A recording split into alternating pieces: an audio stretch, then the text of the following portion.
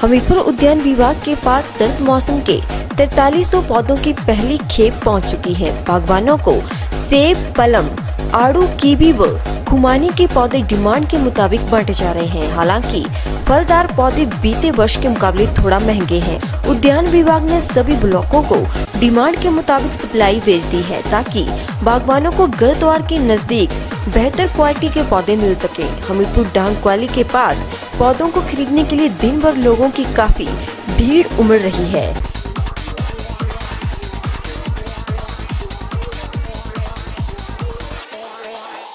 बता दें कि उद्यान विभाग में कीवी के 500 पौधे पालमपुर यूनिवर्सिटी से मंगवाए गए थे, जो कि हर ब्लॉक को 100-100 के हिसाब से दिए गए थे, जो कि ब्लॉकों में हाथों हाथ बिक गए बागवानों को कीवी का एक पौधा 150 रुपए में पड़ रहा है। कीवी के पौधे अब शिमला व सोनल की नर्सरियों से मंगवाए गए हैं ताकि बागवानों को डिमांड के मुताबिक पौधे मुहैया करवाए जा सके। उद्यान विभाग की नर्सरियों में अब सेब पलम आड़ू व खुमानी के पौधे हाथों हाथ ही बिक रहे हैं।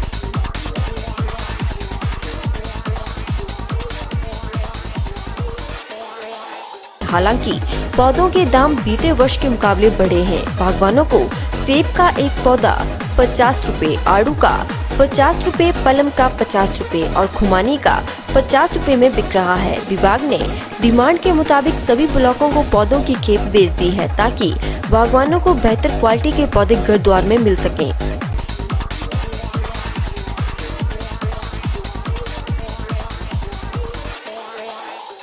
जिला उद्यान प्रसार अधिकारी अशोक कुमार शर्मा ने बताया कि लोगों की डिमांड को देखते हुए पौधे मंगवाए जा रहे हैं। उन्होंने बताया कि सेब के पौधों को लेकर ज़्यादा डिमांड आ रही है और बागवान सेब के पौधों को खरीद कर ले जा रहे हैं। रणवीर सिंह ने बताया कि बागवानी का बहुत शौक है और इसी के चलते आज भी सेब के पौधे खरीद रहे हैं ताकि घर में जाकर लगाए जाएँगे। वही एक अन्य बुज़ुर्ग से आए हुए किसान ने बताया कि हर साल ही पौधे बीजते हैं और इस बार भी सेब और लीची के पौधे लेकर जा रहे हैं।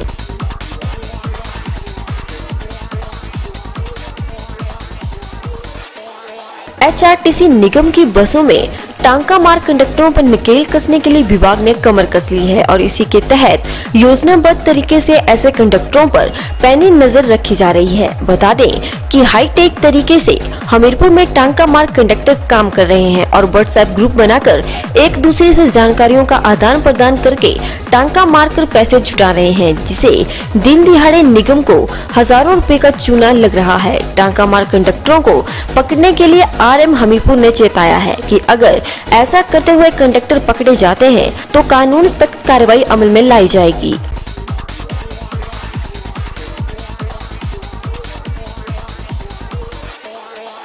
अक्सर घाटे का रोना रोने वाले हिमाचल पथ परिवहन निगम को उभारने के लिए निगम प्रबंधन हर तरह के एक्सपेरिमेंट करता रहता है। इस घाटे के लिए कहीं न कहीं भी बस कंडक्टर भी जिम्मेदार हैं, जो आए दिन टांका लगाने और फ्लाइंग से बचने के लिए नए नए तरीके अख्तियार करते रहते हैं। जानकारी के अनुसार कई जगहों पर एचआरटीसी डिपो के कंडक्टर व्हाट्सएप ग्रुप बनाकर एक दूसरे को फ्लाइंग की लोकेशन को लेकर अपडेट देते रहते हैं। इस बात का खुलासा उस वक्त हुआ जब हमीरपुर निगम प्रबंधन ने ऐसे दो ग्रुप पकड़े। इन ग्रुपों में दिन भर मैसेज चलते रहते हैं और बताया जाता है कि फ्लाइंग की मूवमेंट आज किस तरफ़ हुई है और कौन सा रूट क्लियर है।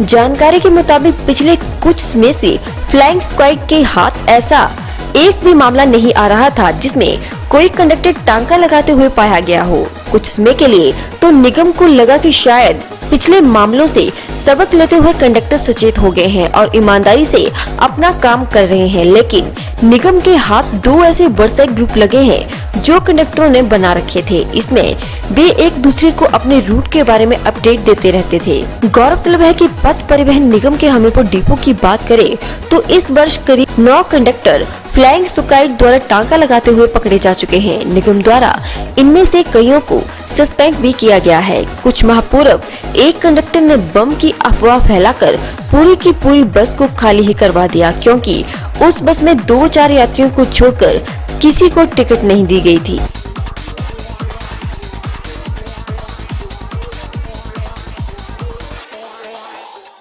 आरएम हमीरपुर विवेक लखनपाल का कहना है कि टांका मारने के लिए कंडक्टर व्हाट्सएप ग्रुप के माध्यम से काम कर रहे हैं। उन्होंने बताया कि कुछ व्हाट्सएप ग्रुप विभाग की नज़र में हैं, जिनको लेकर छानबीन की जा रही है। उन्होंने चेताया है कि अगर कोई कंडक्टर टांका मारते हुए पकड़ा जाता है तो उसके खिलाफ कड़ी कार्रवाई अमल में लाई जाएगी।